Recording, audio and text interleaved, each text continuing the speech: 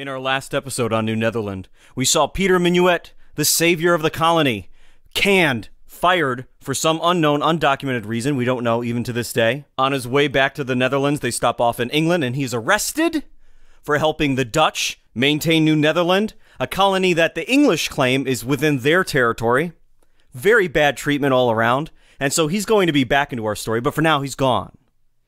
And he's replaced for a little while by a important person who worked at Fort Orange. The guy's name is going to be Sebastian Kroll. Kroll is described as the chief agent at Fort Orange for the company, and he will take control of the entire colony very briefly until the new director arrives from the Netherlands. And surprise, surprise, the new director is going to be the nephew of Kilian Van Rensselaer, the man in the last episode who carved out his own little fiefdom in upstate New York that existed until the I, I don't know, 1830s, 1820s. So, in a huge power move, he puts his nephew in charge of the entire colony.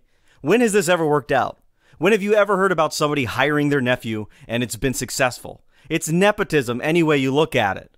I'm reminded of the Office episode, I think it's called Nepotism, where Michael hires his nephew. And by the end of it, he's spanking his nephew because he's doing such a terrible job. Well, this guy's going to need a spanking by the end of this episode. So poor Sebastian Kroll has to hand over the reins of power to this new guy. And Kroll stays with the company for a long time. He's he's always described as competent. He's kind of like a bean counter. He's not a po- political type, he's not a personality, he's not related to anybody important, but he's a good hard worker and he does his job. So he's going to be in the background of this story. He's gone now, and then we're going to see this new guy. And his name is Walter Van Twiller.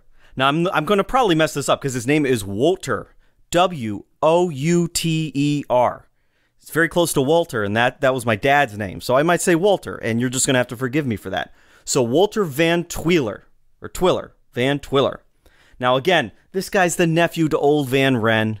He's, you know, he's not good. You can't hire your nephew to ever do anything competently. It never happens. It's a huge business no no. If the kid was any good, his parents would be hiring him to do something. Now Van Twiller or Van Twiller, he's still he he works for the company. He's already an employee. He's a clerk in Amsterdam, doing some sort of desk job, I imagine. And this is when he gets the big promotion because his uncle is a huge investor in the company.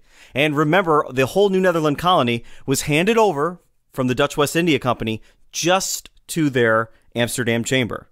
So Van Run's running the show right now. And when he shows up in 1633, he arrives in a huge ship full of mercenaries.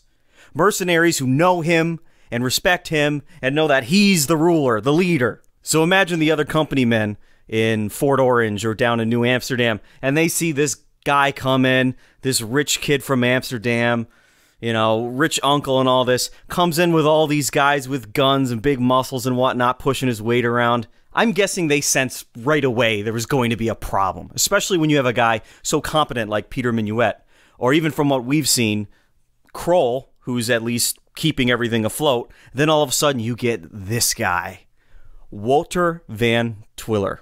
And now I'm going to get into a conspiracy theory, because every now and then I go into conspiracy theories, little ideas that go off in my head. Because as soon as this guy arrives, or as soon as Peter Minuit leaves, rather, stuff starts to go downhill for the colony of New Netherland from the outside, meaning the English for the most part. Now, the Dutch and the English, even though they're starting colonies in very close quarters to one another, there was a mutual respect and they had a bond, and their countries were more or less at peace most of the time. They had the common Protestant cause at the time. They have languages that are fairly similar, and they had other values that were similar.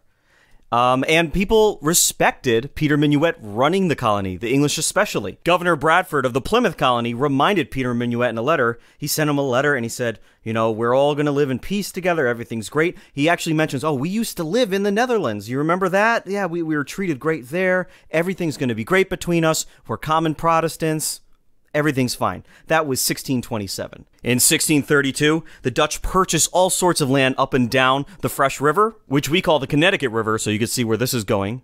The Dutch, they thought the Native Americans have a legal and justifiable claim to their own land, and we should purchase the land from them. Whereas the English did not acknowledge land purchases by Native Americans because they didn't think that Native Americans used the land appropriately enough to, to justify claiming it.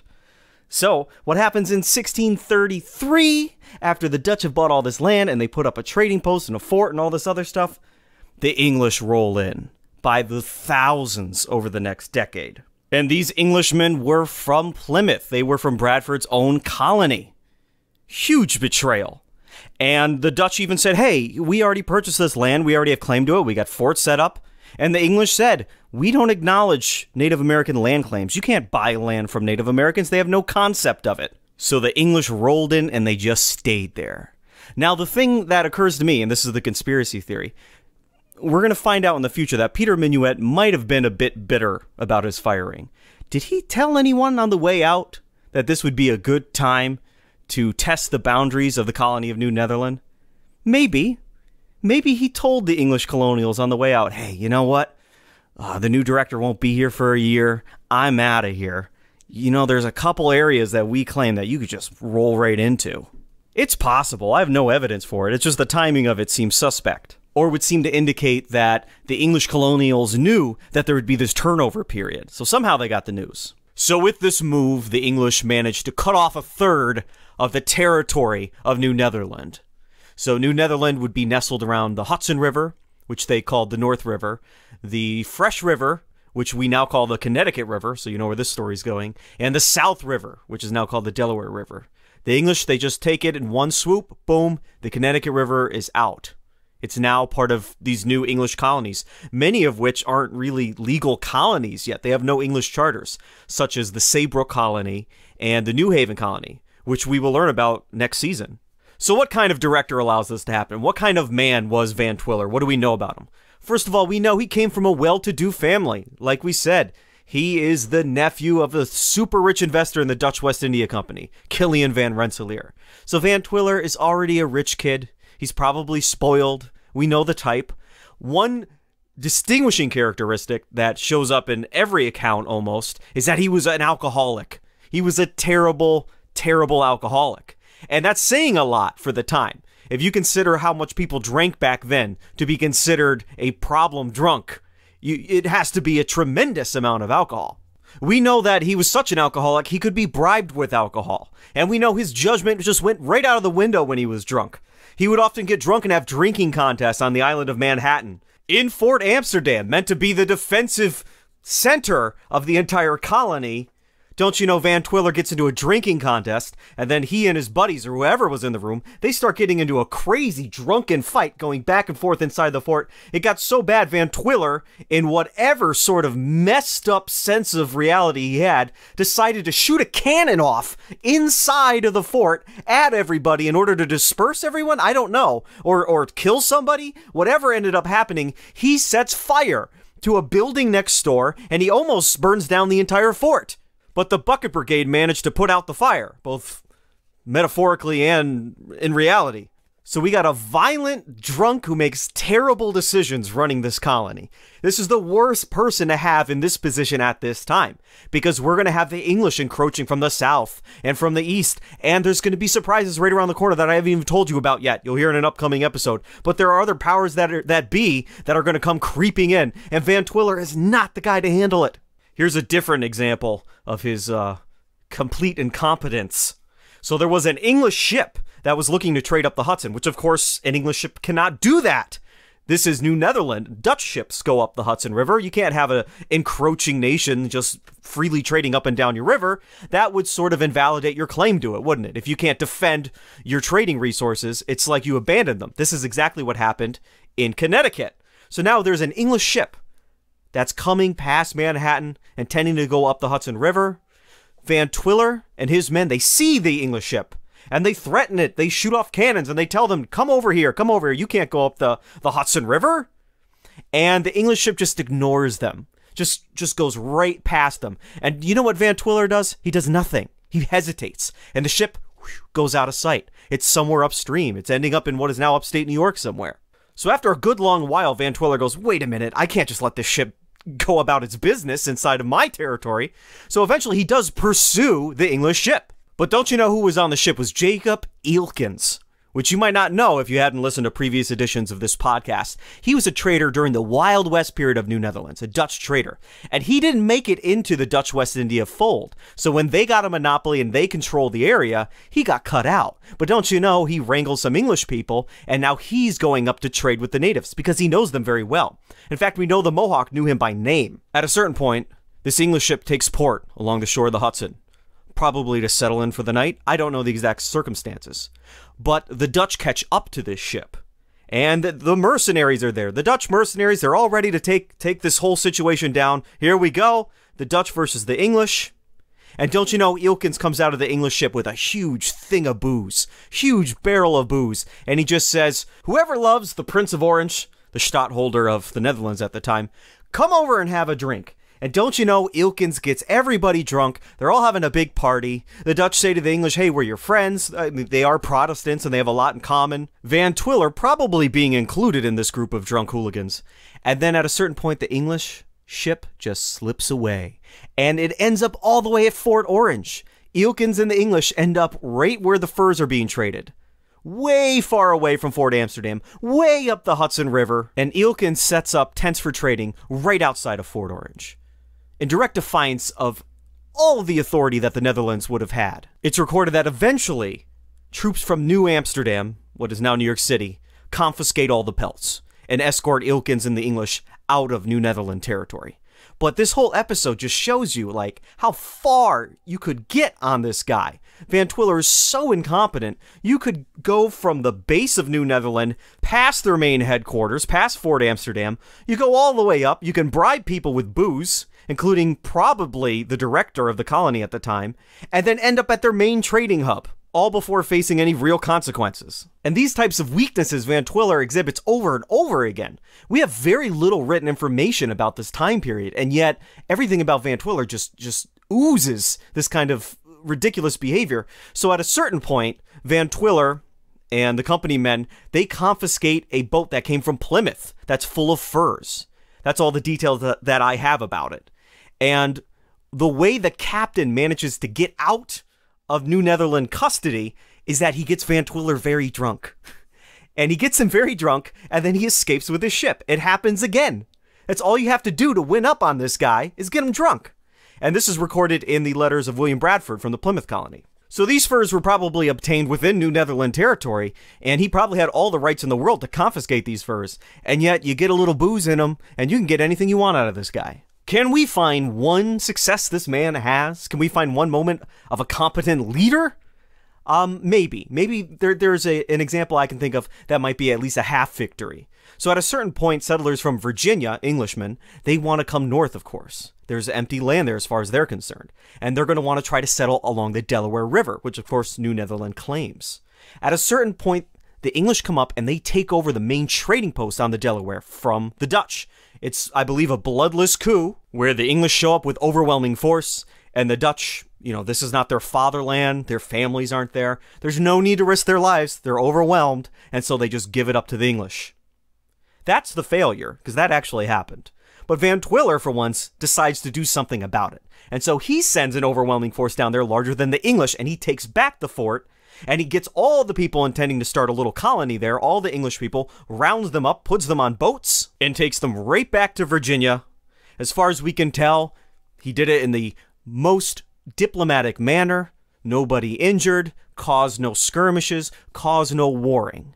All right? So that is probably the closest he comes to success. Although the land was invaded, he retook it claimed it for New Netherland again, and then was able to defuse the situation, bring everyone back home without causing any sort of colonial entanglements or any sort of violent interactions. So, in that is a little glimmer that he might have been a somewhat useful person as far as the colony is concerned. Even a small war with the English just among the colonials along the North American coast, would have been a disaster for the Dutch West India Company. Remember, as far as New Netherland is concerned, they're mostly looking to extract the furs from the area, and then if it becomes too expensive to maintain, there's a huge faction of the company that's just willing to let it go, just abandon it altogether. And around the time of Van Twiller's directorship, the Dutch West India Company is actually getting really angry at the Dutch government because the Dutch government is looking to make some sort of peace agreement with Spain. And the Dutch West India Company makes most of their money off of looting Spanish and Portuguese ships or controlling colonies that used to be in Spanish territory and are still in dispute. So they all their military focus is to the south. It's to the Spanish and the Portuguese. It's where there are slaves and expensive cash crops and there's gold and silver to be gotten. Not furs. Furs are, are secondary or tertiary. So if Van Twiller actually started a war, it'd be unlikely the Dutch West India Company would send an, a sufficient force to protect the colony. It probably would have gone, gone under right there and then. But other than this, I have a hard time finding an example of him doing another great job of managing the colony. The people at the time really did notice that Van Twiller was a terrible leader. They they tried to replace him almost immediately. Isaac de Racers, which I quote from a lot, and I don't exactly know how to say his last name. As soon as Van Twiller came into power, 1633, de Racers actually married the niece of one of the directors of the company. So he he became a nephew and then he lobbied to replace Van Twiller as soon as he could. And of course, that fell apart very quickly. That was 1633. By 1634, they're sending over different officials and whatnot in and out. There's one by the name of Libertus van Dincklagen. I believe that's the best way to say it and he spends two years in the colony, and he's writing letters back to the Amsterdam Chamber, just complaining about Van Twiller. He's one of the sources of where we get these ridiculous stories. And after two years in the colony, Van Twiller gets word of this, and he sends him back. He just sends him back because he doesn't like him, and vice versa. While all this is happening, the English moving in on the Connecticut, the English trying to move in on the Delaware, people trying to get rid of Van Twiller, somehow, in the 1630s, the Mohawk Indians get access to firearms. In our next episode on the Iroquois Confederacy, we're going to cover the impact of firearms on the Haudenosaunee. But let's look at it from the Dutch perspective, or the English or the French. Who gave the Mohawk Indians these guns? To this day, we don't have an exact name. We don't know exactly who did it. We have hints, and we'll cover that in a upcoming episode. But we have three nations that could be suspect. We have the English, we have the French, and we have the Dutch. Well, let's start with the French. The French, by this time, are mortal enemies of the Iroquois Confederacy. And they have a lot of native allies who are also enemies of the Iroquois Confederacy. And the French are not giving guns even to their own native allies. So, what reason would they have to ever give guns to the Iroquois? None, none whatsoever. They're they're out of the question.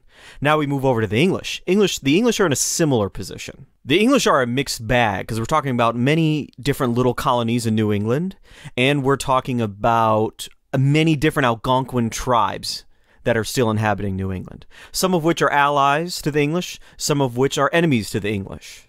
But there would be no reason to arm the Mohawk to go up against one of your foe native tribes when you could just arm a smaller, more aligned with you tribe in New England. Does that make sense?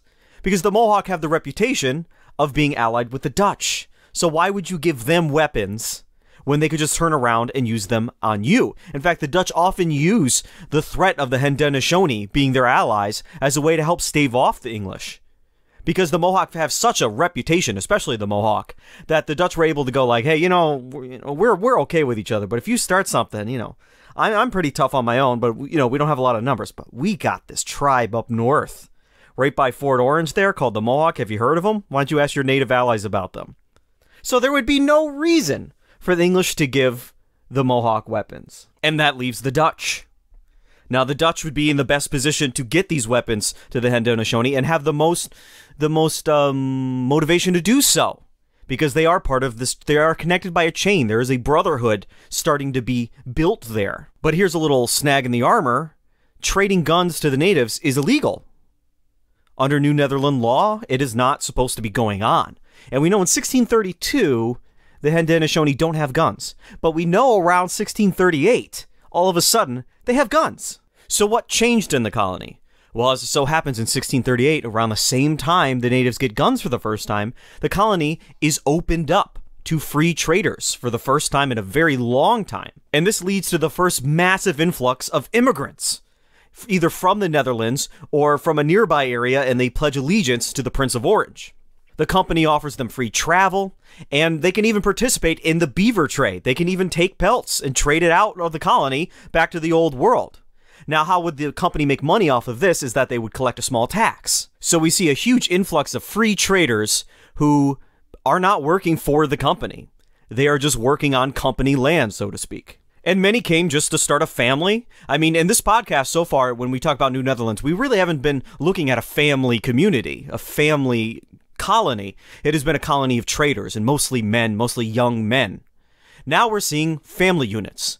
So a lot of those early Walloon families, they've kind of disappeared over the decades. They made their way back to the old world or whatnot. But now we're seeing an influx of Dutch families and other ethnicities. But now we're seeing the beginning of actual communities where there's kids and there's old people and there's young people and married couples and there's lots of women around. The company offers free plots of land and after 4 years they'll start taxing you a little bit if you cultivate it and you're successful with that. And there really no there are no surviving like census records from this time. So we can't even tell you who all these people are the best way of knowing who some of these people are is that you're a descendant of them and they're in your family tree and they lived somewhere in New Jersey or upstate New York or downstate New York and that's how you know they existed.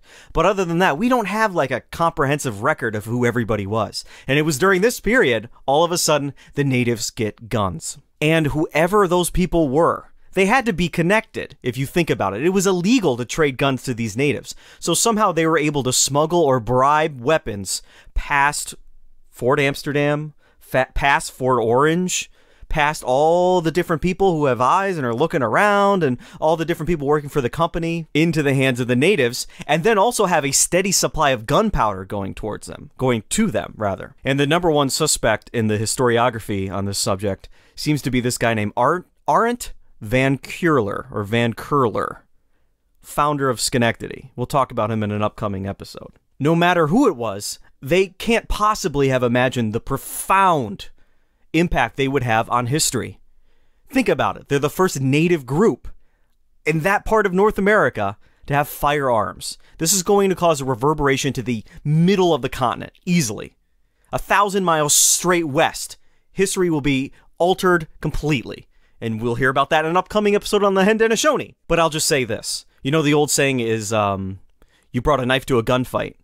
It's the other way around. Once the Mohawk get guns and they give it give them to their allies in the Haudenosaunee in the Iroquois Confederacy, they're bringing a gun to a knife fight. And the result will be there are some enemies of the Haudenosaunee at this time who just don't exist anymore. Today you couldn't find the tribe that those people would be the descendants of.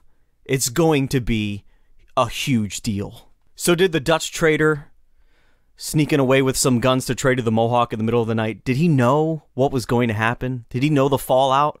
Probably not. He was probably just thinking about the fur he was going to get. But here's an example of a history changing encounter for which we have no names for. We don't know who these people were. So, despite Van Twiller being a complete failure and an alcoholic, and just, you know, he got the job out of pure nepotism, the colony is actually starting to grow for once.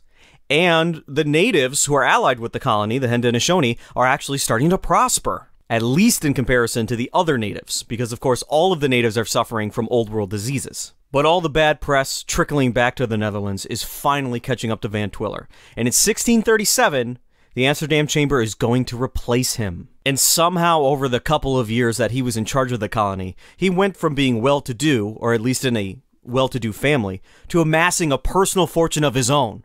How he got super rich over that time is not exactly clear but maybe we can assume there's been some confiscation of goods where he's skimming off the top. Then in other situations we've seen he's been bribed with alcohol, maybe he was bribed with money. So despite being a pretty much a failure as a director, he comes out of the whole deal rich. He's a very wealthy man. And he remains in the colony on and off. He goes back to the Netherlands, he goes back to the colony, because remember, he's in the Van Ren family. So he's going to be helping the Van Rensselaers with their patroonship. And I believe history, although noting him as a bit of a failure, probably treat him better than he should be because the next guy, the guy who takes over after Van Twiller is removed, is going to be so much worse. He really overshadows all the terribleness that Van Twiller ever did. And so that's what we got to look forward to. Also, Peter Minuit is coming back for revenge.